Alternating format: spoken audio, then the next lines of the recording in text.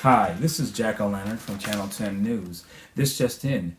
Jaguars in Costa Rica have now become extinct due to habitat loss and fashion trends. The last remaining jaguars on this earth lived in Costa Rica. Now there are none. In studio today we have Eileen Ford, an animal specialist and environmentalist.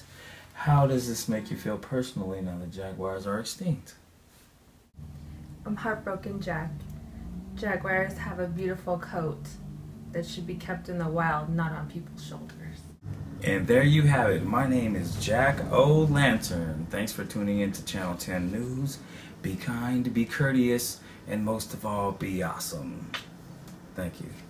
Good night.